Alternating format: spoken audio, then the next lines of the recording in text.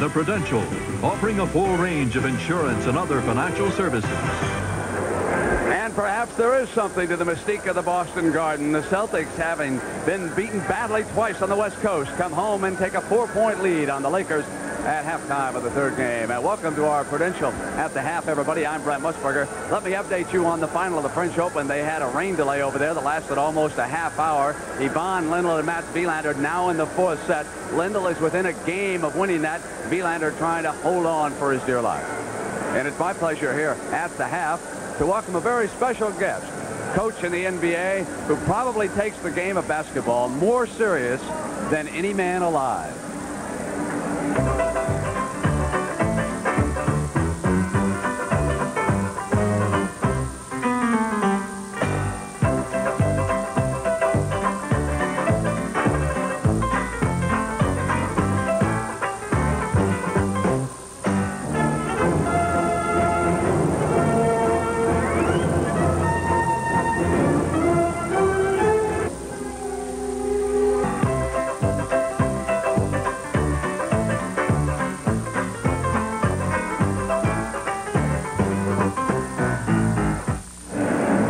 Basketball did not get him, and Coach Frank Layden of the Utah Jazz is here.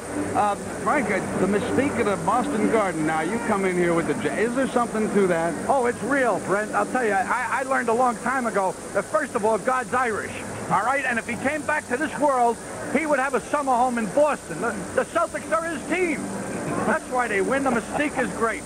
What's it like when you bring the Jazz in here for a game? Well, uh, I'll tell you a story. About five years ago, my son was 24 years old, a young assistant in this league, and I brought him here to the Boston Gardens, and uh, he had never seen a game here. He had never been on the parquet floor, and I said, son, there's the parquet floor. There's the great flags up there, all the championship teams. There's Red Auerbach sitting over there, the great one. I said, and now sit down because we're about to get our butts whacked. now, when Frank shows up today, folks, Red Auerbach gives him a copy of his cassette with Larry Bird. You can take this home and throw it to the Jazz. Well, I take it home and I get him out of it and me in it and I pick up a few bucks. You know, the redhead's pretty hey, sharp. Hey, listen, one night in the Forum, you got whipsawed by that Laker fast break. You know what was going on with K.C. Jones the first two games out there. Well, I'll tell you, they were up by about 17 points with six minutes to go. I turn around. The L.A. fans are very sophisticated. I saw all the fur coats and jewelry moving out to the exits. So I said, what the hell am I doing here? Let me out of here. So I went across the street, had a bowl of cherry. and waved goodbye to the fans on the way. I waved goodbye to them. Seriously now, what changes would you make in NBA basketball? Let me make a commissioner for a day. What would Frank Layden do?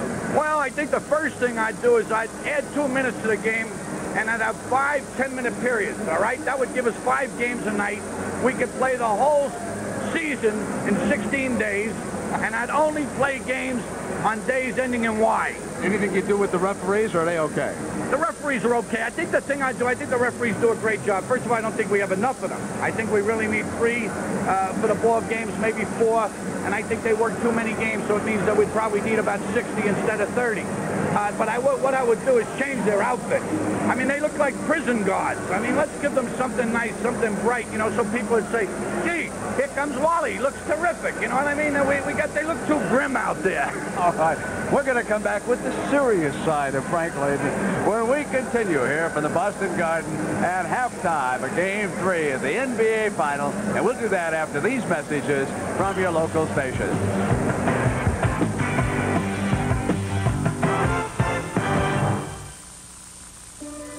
Beyond your expectations. Today, the Prudential can show you a new world of financial opportunities. Look to the rock for stocks and bonds, mutual funds. Feel its strength in CDs, insurance, and mortgages. With the right choices, the right guidance, you can move mountains. The Prudential. Your rock in financial services. This is CBS. Beatles, Jimi Hendrix, VCR, Moody Blues, Rolling Stones, Steppenwolf, Bob Dylan, The Doors, Crosby, Stills, Nash and Jethro Tull, Grateful Dead, Led Zeppelin, Pink Floyd, Skynyrd, The Who, Steely Dan, Eagles, Eric Clapton, The King, Bob Seger, Boss Journey, Genesis, Elvis Costello, ZZ Top, Dire Straits, Robert Plant, The Cars, The Police, Tom Petty, U2, The Fabulous John Cougar Mellencamp, Talking Heads, Bruce Springsteen, Peter Gabriel. KLBJ FM. There's only one rock and roll connection. Listen to FM 94. As the president, I recommend we check out desktop publishing. As chairman, I must consider our frugal fiscal policy. As comptroller, I'm sure we'll be very fiscal. Mm-hmm. Save money, too. Well, let's call Computerland. Where's that secretary? It's your turn. I know that. The Apple Macintosh with an Apple Laser Writer can improve your paperwork. This desktop publishing system from Apple helps you create beautiful reports, newsletters, and brochures with stunning text and graphics. Two Austin locations. One memorable night. Thanks, Rob. At the Silver Bullet. Hey, you're John Adams, right? Uh, yes. One Coors Light, please. Would you believe two Coors Lights? Great. Ring, ring. Hello? It's for you, Don. Terrific. Ah, thanks. Mind if I join you? Mind if I pour? Not at all. Missed it by that much. There's no slowing down with the Silver Bullet tonight. Just it. Join David Walker for the Channel 7 News Weekend Report. We are back. We're at the half of Game 3 of the NBA Final. The Lakers trailing the Celtics by four points. Frank Layden of the Utah Jazz, our special guest. Let me show you what Coach Layden does when he gets behind at halftime. He was out in Denver one night with the Jazz. The young man came out shooting for an automobile. He made the bucket. He won the Cadillac. He was about to go and pick up the keys. What'd you tell him, Frank? I told him, I said, son, you're the only one doing anything positive here out tonight. So I sent them out with, with four of my starters, and the referees were just about to start the game when they realized there was a guy in civilian clothes.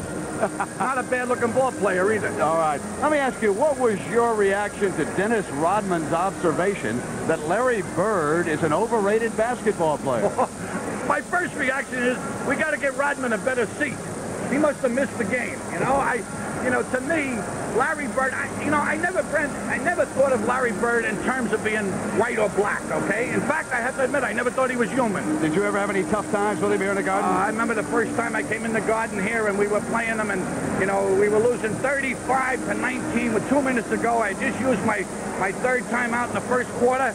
And I told the team, I said, I don't expect you to beat the Celtics. They're a very good team. They're better than we are. I said, but for crying out loud, we got 19 points. Bird's got 22. Let's see if we can beat him.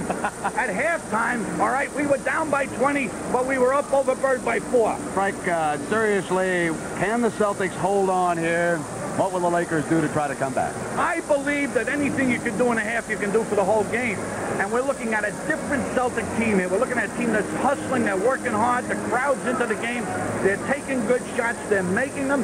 And I think the fact that they have good floor balance and they're taking good shots, they're hurting the Lakers' fast break. If I'm Pat Riley, I have to say, hey, you got to get out and play some of these guys. There's too many open shots. We've got to stop them. We've got to get that ball off the board, and we got to get back to running the way we did in the two previous games. Coach Layden, thank you very much. We have it's a pleasure. I'll be glad to come back anytime. Coming up momentarily, we'll have the second half. It's the Lakers and the Celtics on CBS. The Polaroid Spectra system is calling, calling the cameras of America. And the cameras of America are coming. Coming to a remarkable offer on the incredible Polaroid Spectra. For a limited time, any camera, in any condition, is worth $20 toward a Spectra at your local camera store. Imagine $20. Don't you have an old camera that's worth $20 off a Polaroid Spectra? We'll announce the final cut after tomorrow's practice. Can't sleep in that land, I think. You gotta start hitting from out there, Harris. Oh, I need a drink of cool, cool rain. The way to stay cool is clear.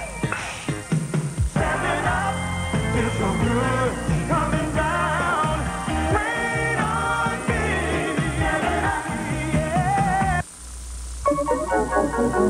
Yeah. Am I drained? I'm almost ready to burn out in this soft white light bulb. But if I were in the Sylvania soft white bulb, I'd last 5% longer. Why, in their 60 watt alone, I'd have 50 more shining hours at no extra cost.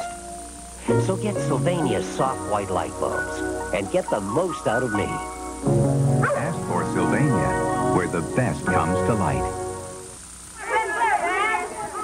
Magic. That was the best assembly we ever had. That's great. I meant what I said.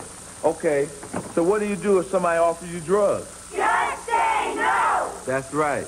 You can all be winners on and off the court. You owe it to yourselves to be your best. Don't let anyone talk you into playing a losing game with drugs. Play it smart. Don't foul out. Yeah!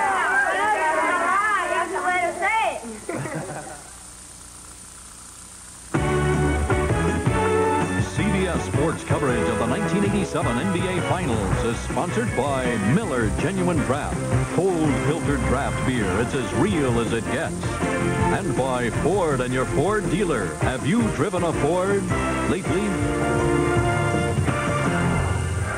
At halftime, the Celtics lead the Lakers by four. All year, we've given out the Miller Lite Player of the Game. Well, Pat O'Brien last week gave the award for the Miller Lite Player of the Year. Here it is. Earvin Johnson has led the Los Angeles Lakers to the NBA Finals six times, and through the years, we've come to know why Earvin's nickname is indeed Magic. This year is no exception. Magic, of course, is the consummate team player, but through the years, he's earned some very high individual awards as well. And on that note, here's Kevin Wolf from Miller Brewing Company. Kevin? Thank you, Pat. This year's Miller Lite CBS Player of the Year is Earvin Magic Johnson. Magic took his game to uh, greater heights this year. He uh, led his team in scoring with over 23 points a game. He uh, once again led his team in assists, and he hauled down over 500 rebounds this year. Magic, on behalf of Miller Lite, I'd like to congratulate you for a great year, present you with this trophy for the Player of the Year, and also I'd like to uh, donate in your name a check in the amount of $5,000 to the Thurgood Marshall Black Education Fund. Congratulations. Thank you. I'd like to thank everybody at Miller and also CBS for uh, this award. I'd like to thank my teammates who, no question, helped me to achieve this award, and everybody else, management and coaches at the Los Angeles Laker organization. And I'd like to dedicate it to my dad, and I hope he's as proud and happy as I am today. So thank everybody. Magic, on behalf of CBS and fans everywhere, thank you for your enthusiasm for the game and for the showtime. Well, the NBA is fantastic. From a superstar to an obscure player who made his presence felt, let's talk about Greg Kite, especially with Parish on the bench with two points, three personal fouls. Kite's contribution to Boston's effort in the first half. Well, I said at the top, the parquet floor might not make their feet faster, and K.C. Jones well recognized it and said, Greg Kite, you have got some quick feet getting back, and he's been instrumental in giving them that extra defender that has helped the Celtics stop the fast break attack of the Lakers. All right, let's take a look at some halftime statistics right now. And in the second period, the Celtics hit 17 of 21 shots for 81%. That really helped their effort and overcame their first period shooting woes. The front line, well, that's where Boston normally gets their points, but they're doing the number on